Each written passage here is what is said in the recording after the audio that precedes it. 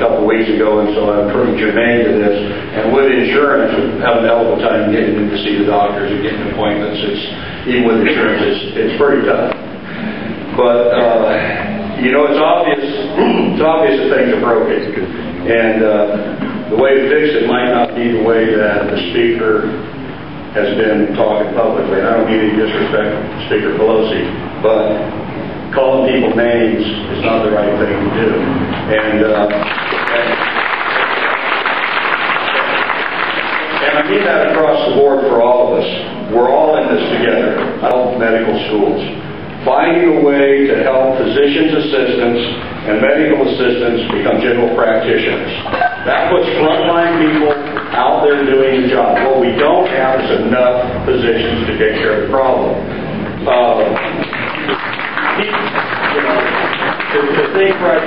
Federal government can jump in and manage the whole thing is pretty scary to all of us. I mean, it, it's, it really is scary. Uh, if you can deal with those things that really affect us on the ground quickly, let the other stuff kind of follow the course later. Thank you. Let me just say a couple things. One, the, the federal government is not uh, interested in jumping in and managing the whole thing. That's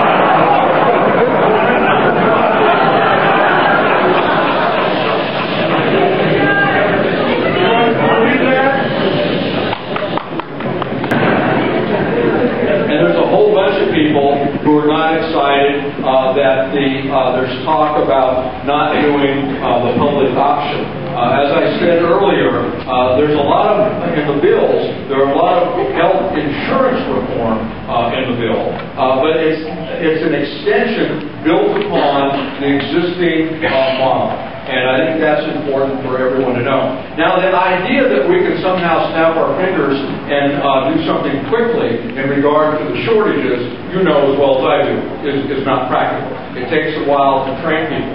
But the bills that uh, are in the House, the bill that was in uh, my committee on, on Ways and Means, specifically dealt with increasing the number of providers. And the other thing that it did, there's not per se a shortage of providers. There's a shortage of the correct providers in the right places. And uh, the bill also deals with that. Uh, there's an increase in, uh, in uh, Medicare reimbursement for primary care uh, providers, and there's an increase there's an increase in uh, Medicare um, uh, reimbursement rates for uh, underserved areas. And, uh, largely, when you hear about underserved, you hear about rural areas, but there are underserved urban areas as well. And there's also a big bump uh, in increasing uh, opportunities uh, for healthcare providers. The uh, uh, in, in interest rates, interest rates on loans, uh, grants, loans, and more programs for folks to get into. Everyone recognizes that, and they recognize that there's going to be a real focus on primary care providers. That's where the big hole is. One of the uh, one of the uh, and I'm assuming that you, you're you're all uh, up to speed on, the bill. You know that there's a number of pilot programs uh, to change the way that we deliver health care uh, because you know the, what we're doing now doesn't work. Uh, we need to make sure that we focus on patient health, not on uh, increasing procedures.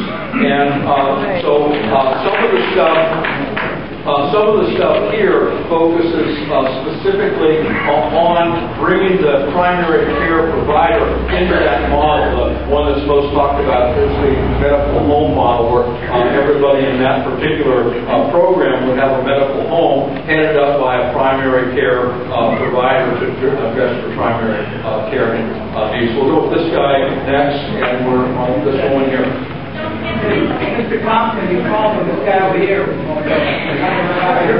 He's the next guy. We're doing, we're doing the guy up and the guy on deck on each side. Remember? I remember. Let's say, I feel like a lot of people that I talk to, this whole, healthcare reform debate is going to bait about health reform and insurance reform, and instead what they're talking about now is out the public option is nothing but a gift to the insurance. And it's medical in tax money, everybody else's tax money is going to give people who can't afford it to then pay the insurance companies. So it's, it's just a big gift to the insurance companies without public, uh, without public option. Let me just remind you, as I said earlier, I support the public option. Now, in the Senate, they're talking about something else. And the, the something else usually uh, is coming out of the Finance Committee, and they're talking about co-ops. The idea of doing medical, well, I- if, if, if you're shaking your head, you know more about it than I do, because I don't know what a co-op is. as it pertains to, you know, this healthcare bill. Now, I'm willing to wait and see, uh, because I want the best possible bill, and I want to make sure everybody has access to quality affordable healthcare. And how we get there, uh, is, uh, almost, uh, second thought. We just need to get there. So, Um, I just like to quote from a previous uh, prior president: "You cannot make a weak man stronger by making a strong man weaker." Abandoning the principles of America and punishing the 85% of Americans who have earned health care benefits as part of their employment and their employers who give it to them to cover the 15% who have not is unconstitutional, immoral, un-American, and just plain wrong. stop and make everyone the common respect be heard. First, first of all, I'd like to point out that I do not support so-called health care or sick care in principle because I don't believe that allopathic, cut, burn, and poison Western medicine is barbaric, and I avoid it at all costs. Compelled to at least support our Constitution and the rights of my fellow Americans who are who choose or are forced to take part in such sorcery. One of the biggest fallacies regarding the health care discussion in America is the notion that individuals are not responsible for their own health but rather that responsibility falls on someone else or on some institution. The related foolishness in that cradle to grave health care is somehow not a natural right. There is no natural right. there is no natural right that involves Hold on hold on. Dying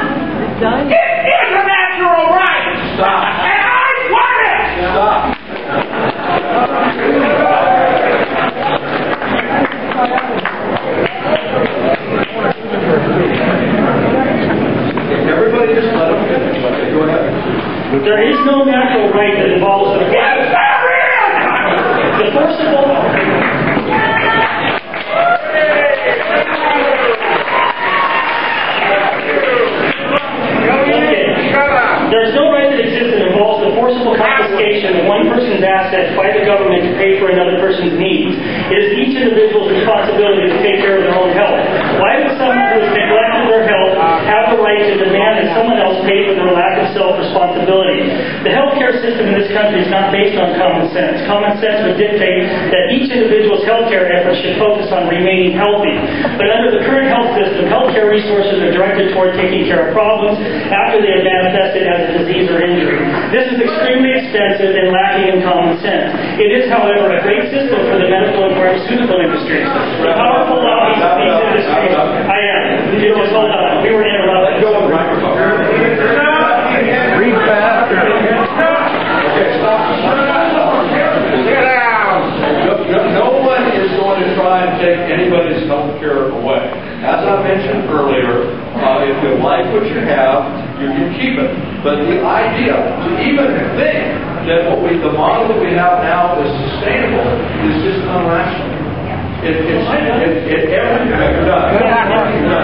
Uh, I know you had more pages to read, but, uh, I got the gist of what you're, what you're saying.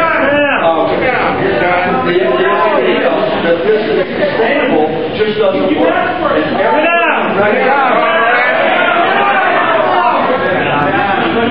Thank you.